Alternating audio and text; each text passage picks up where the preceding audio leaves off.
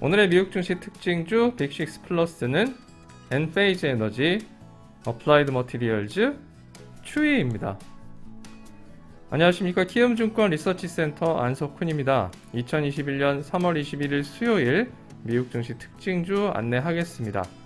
본 시간은 미국 3대 지수와 섹터 현황을 확인하고 S&P 500 상위 하위 10개 종목을 확인하고 있습니다. 다음으로 시가총액 기준 상위 6개 종목의 동향과 함께 오늘의 이슈 종목 5개와 오늘의 ETF 3개 종목을 소개하고 있습니다. 그럼 먼저 오늘 미국 증시 정리하겠습니다. 오늘 미국 증시는 인프라 투자 계획 발표 기대감에 3대 지수 혼조세로 마감했습니다. 다우가 0.26% 하락한 반면에 S&P 500은 0.36% 상승했고 나스닥은 1.54% 상승했습니다. 중소형 지수인 러셀 2000은 1.13% 상승 마감했습니다. 섹터의 경우는 11개 섹터 중에 5개가 상승했고 6개가 하락했는데요. IT가 1.5% 상승하면서 가장 높은 상승률을 기록했고 다음으로 경기 소비재가 0.83%, 유틸리티가 0.65% 상승했습니다.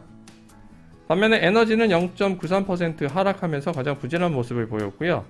이어서 금융이 0.9%, 소재가 0.5% 각각 하락 마감했습니다.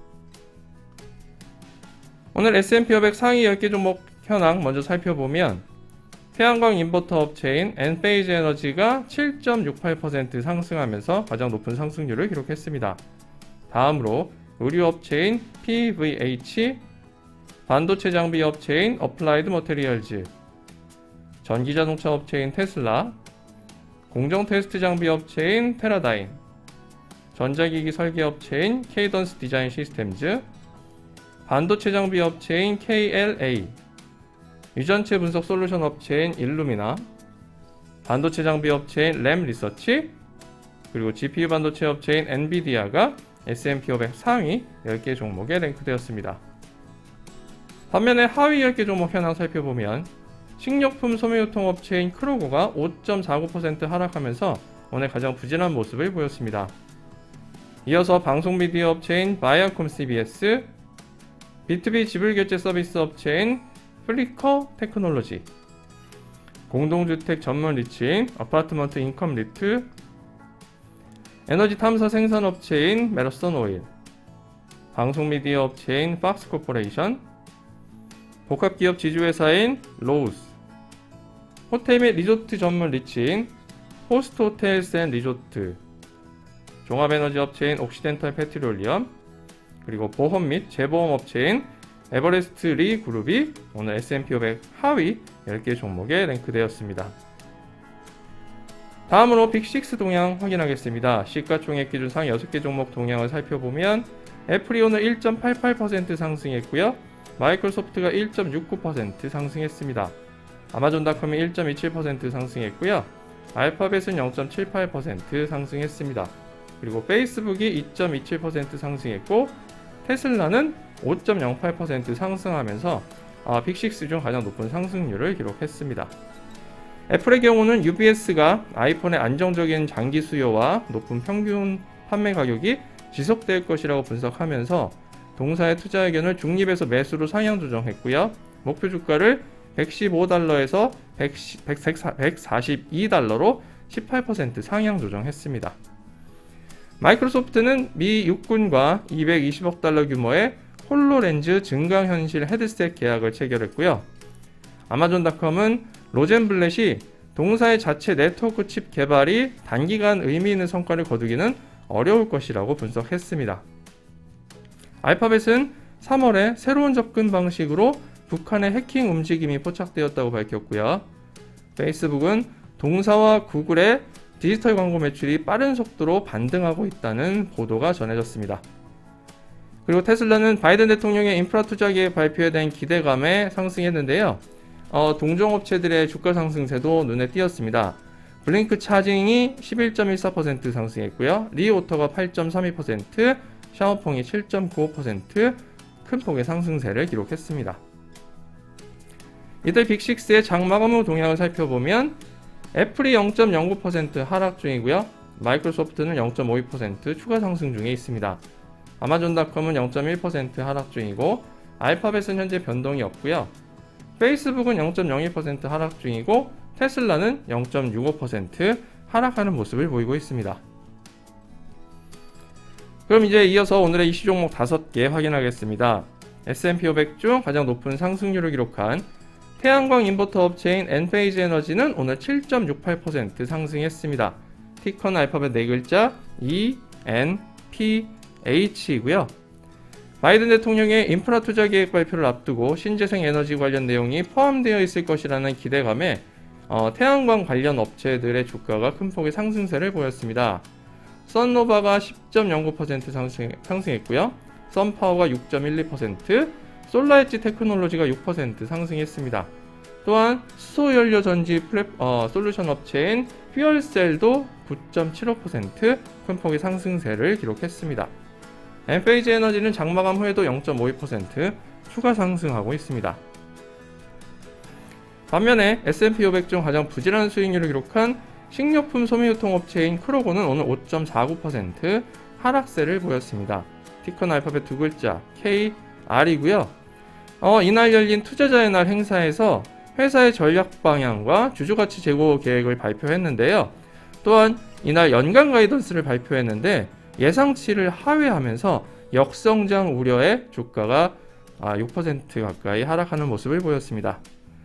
이날 어, 동종업체인 달러트리도 1.52% 하락했고요. 타겟도 0.79% 하락세를 보였습니다. 크로고는 장마감 후에는 0.22% 상승 반전했습니다. 다음으로 반도체 장비 업체인 어플라이드 머티리얼즈가 오늘 5.4% 상승했습니다.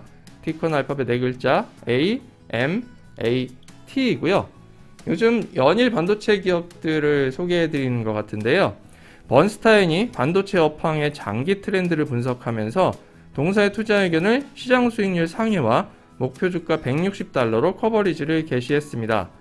또한 함께 투자 의견 시장 수익률 상회와 목표 주가 700달러로 coverage를 개시한 램 리서치가 3.96% 상승했고요. KLA가 4.2%, 엔비디아가 3.7% 상승 마감했습니다. 어플라이드 머티리얼즈는 52주 신고가를 경신했고요. 장마감 후에도 0.25% 추가 상승 중에 있습니다. 이어서 반려용품 전자상거래 업체인 츄이가 3.51% 상승했습니다. 티커는 알파벳 4글자 C, H, W, Y이고요. 전일 장 마감 후에 2028년도 4분기 실적을 발표했는데요. 매출은 전년 동기 대비 51.1% 급등했고 EPS는 흑자 전환하면서 모두 전망치를 상회했습니다. 순 판매량이 47% 증가했다고 하는데요. 코로나19 팬데믹에 따른 반려동물 용품 수요 증가에 따른 것으로 보입니다. 이에 따라서 웨드부시가 목표 주가를 90달러에서 100달러로 상향 조정하기도 했습니다. 이날 실적 발표했던 기업들이 다수 있는데요. 월그린스 같은 경우에는 3.62% 상승했고 다소 부진한 실적을 발표했던 PVH는 어, 전체적인 시장 기대감에 5.57% 상승 마감했습니다. 또한 콘스도 부진한 실적을 발표했지만 시장 기대감에 24.28% 급등했고요.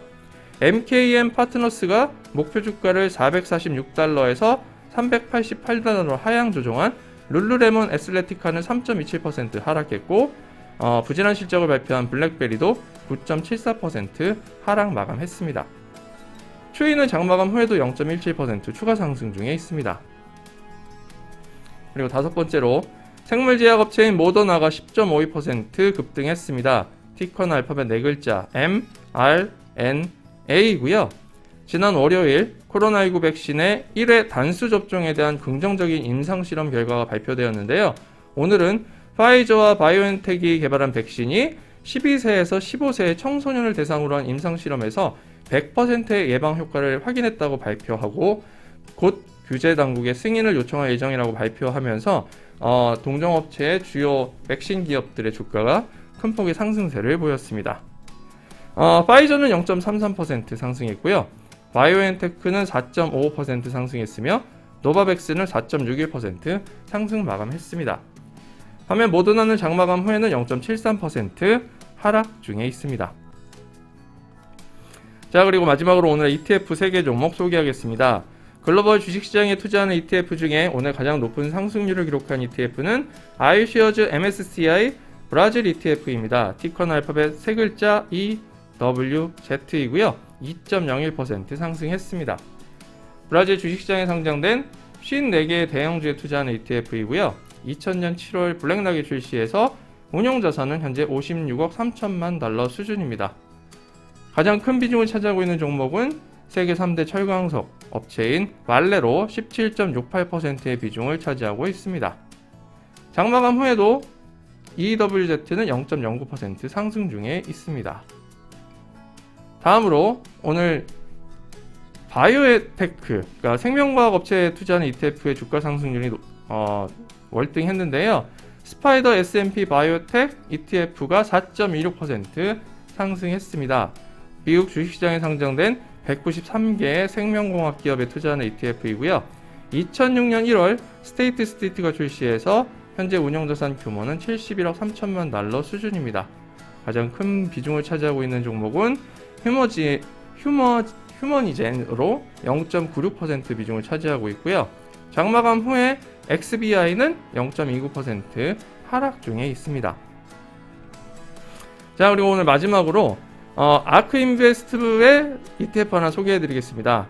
아크 이노베이션 ETF ticker는 ARKK가 오늘 4.83% 상승했습니다. 글로벌 주식시장에 상장된 55개의 혁신 기업에 투자하는 active ETF이고요. 2014년 10월 아크 인베스트가 출시해서 어, 현재 테슬라가 가장 큰 비중인 10.76%의 비중을 차지하고 있습니다. 장마감 후에는 0.23% 어, 소폭 하락하는 모습을 보이고 있습니다. 이상으로 2021년 3월 31일 수요일 기준 미국 증시 특징주 안내해 드렸습니다.